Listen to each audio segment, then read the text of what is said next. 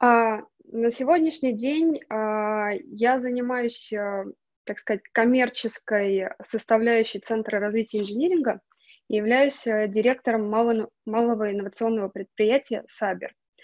Вот, а, я знаю, присутствовала тоже на лекциях у своей коллеги Александра Мигалюк, она рассказала вам про маркетинг, и, возможно, что кто-то из вас тоже тогда был, и э, Пабло вставил свой комментарий по поводу э, такого инструмента для работы с университетами, как малое инновационное предприятие.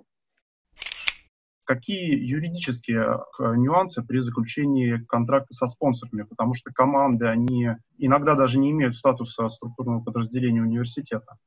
Вот, угу. Как это вообще решалось у вас? Э, то есть это был контракт с университетом или все-таки отдельно с командой или с физическим лицом? Какие варианты? А, у нас обычно идет с университетом как, как соглашение или как договор. Как договор в основном. Именно с университетом. И, Саша, если позволишь, mm-hmm. добавлю.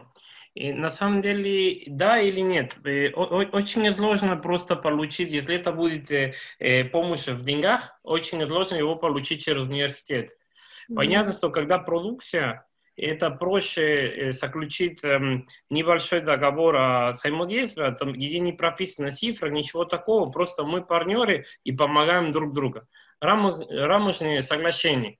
Если вопрос идут о деньгах, тут уже нужно, я вам сильно советую открыть небольшой, эм, как сказать, не компания, конечно, но э, вам нужно открыть эм, какой-нибудь э, МИП, что-нибудь подобное, ну, инновационное предприятие, что-нибудь такое, и чтобы вам было возможность э, заключать не как университет это э, договор, а университет как участник вашего МИП, да, оно является одним из, допустим, э, соучредителей, но у вас это не как отдельная компания, тогда проще это проводить, потому что по-другому не то, что университет не хочет или не может, Проблема – это э, иерархия. Да? Университет большой, там изложены вопросы, обсуждается постоянно огромный договор и так далее.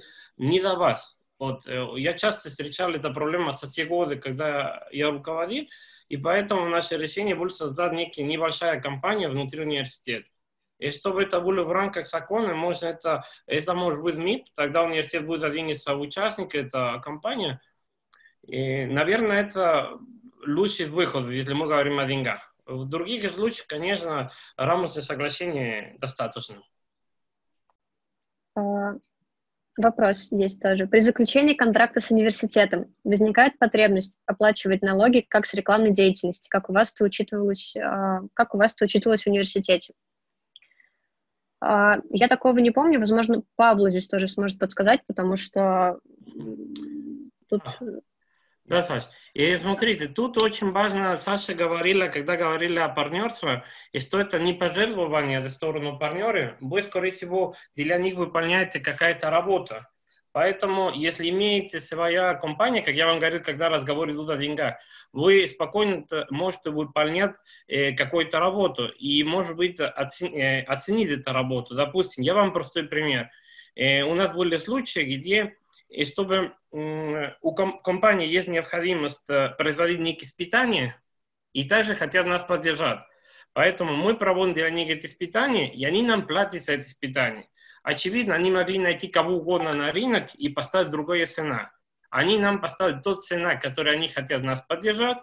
Это в рыночных условиях плюс-минус правильная стоимость, и мы выполняем действительно эту работу. То есть обязательно выполнять действительно эту работу, что это было в рамках закона.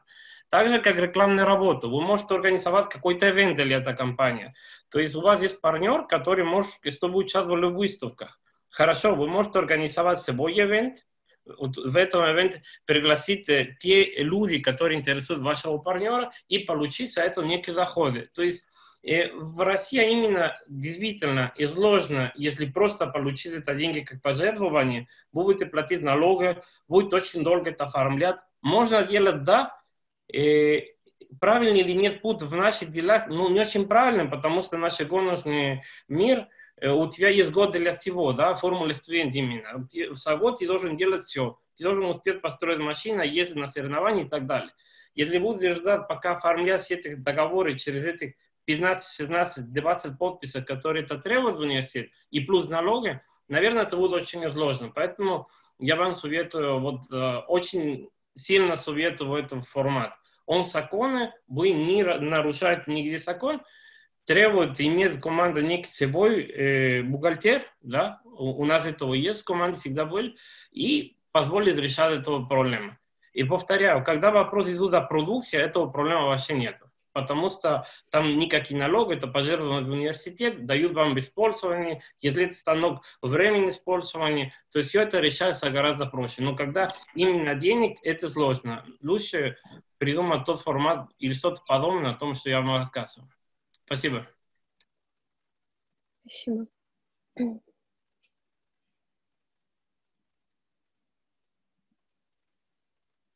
Так, ждем еще вопросы. Все, написали спасибо. А, есть еще у кого какие-то вопросы? А,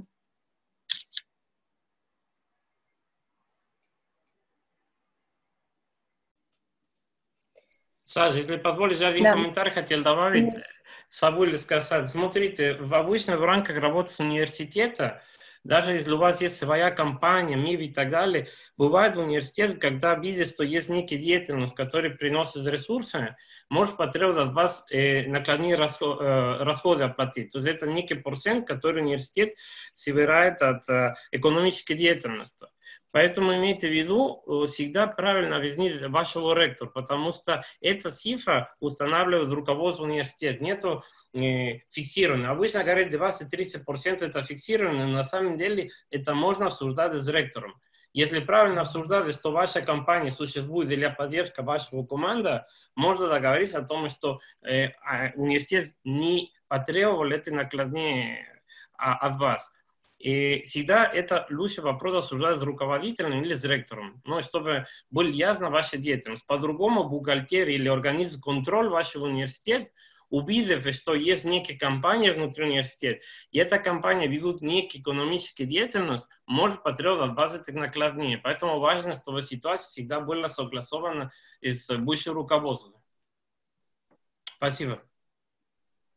Спасибо. Друзья, можно еще 5 секунд буквально оторву, извините. Угу. смотрите, вопрос с договорами, на самом деле, он ну, достаточно несложно обходится. Ну, не то чтобы обходится, да, точнее, юридически там оформляется. А, допустим, есть у вас договор на, ну, условных там, на там, 3 миллиона рублей, которые вам дает спонсор, да.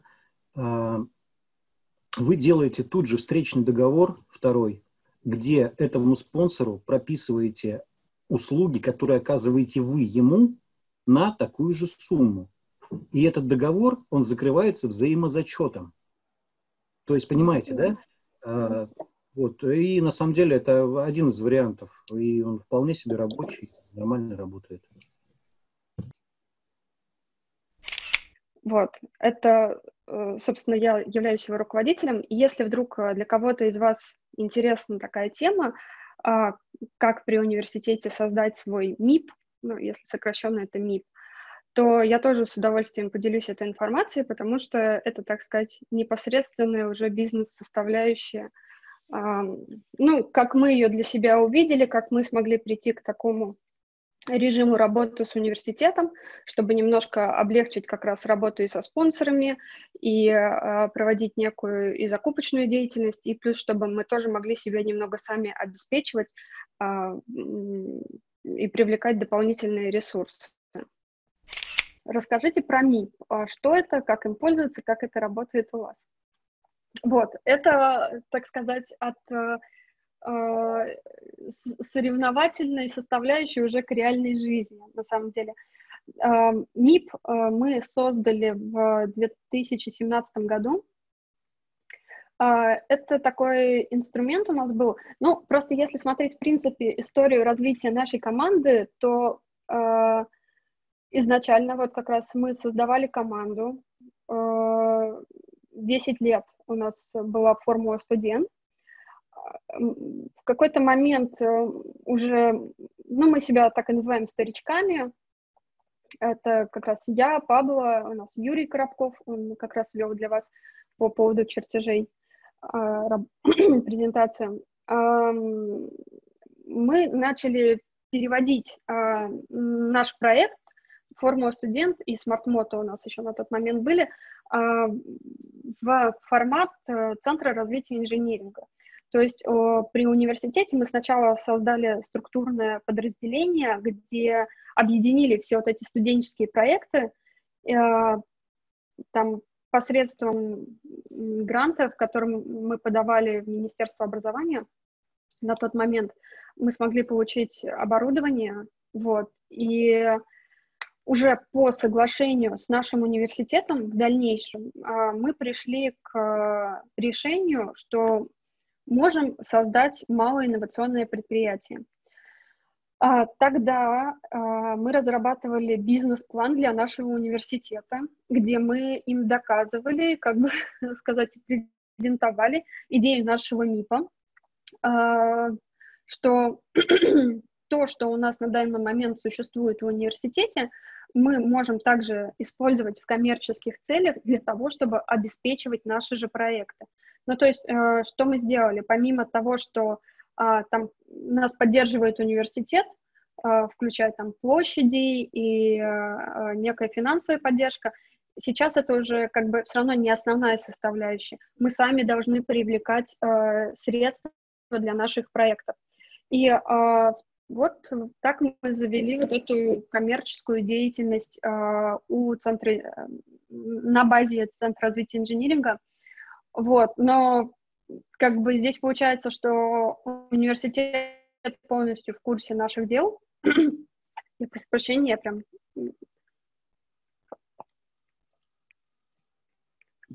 это на самоизоляции уже так много и не разговариваешь-то.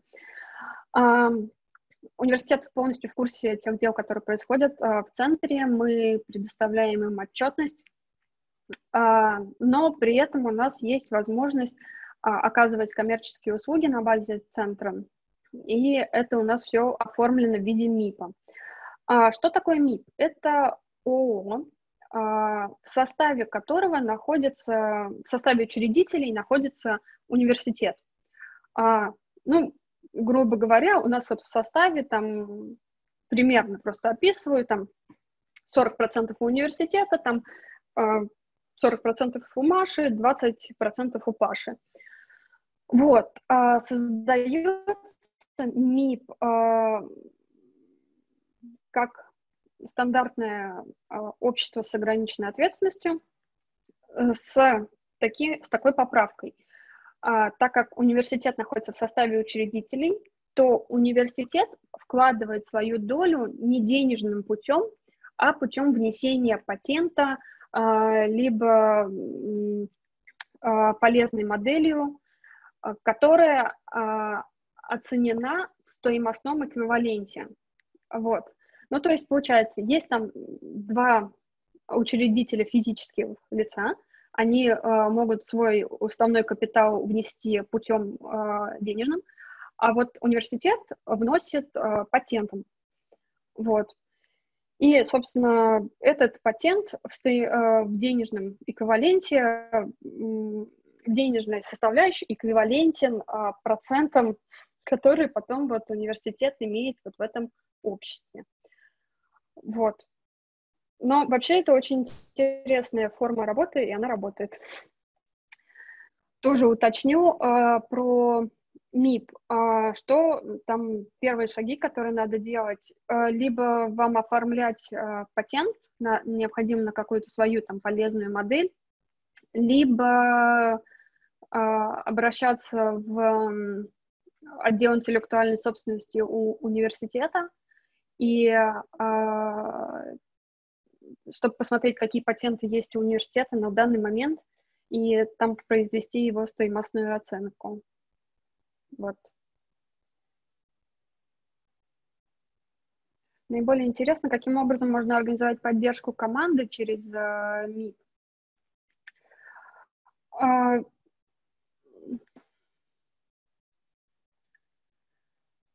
тут э, нужно немножечко, э, наверное, уточнить этот вопрос, но вернее нужно знать вводные данные, потому что мы пришли к формату MIP, например, ну, именно мы, а, потому что у нас а, было там, э, у нас центр, в котором есть оборудование, у нас есть а, рабочий коллектив инженеров,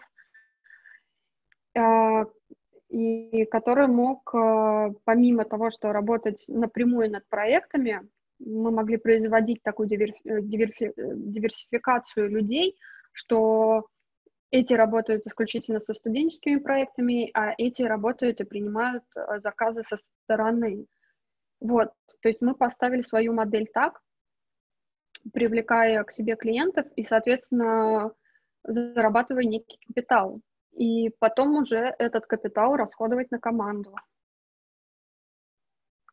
Вот.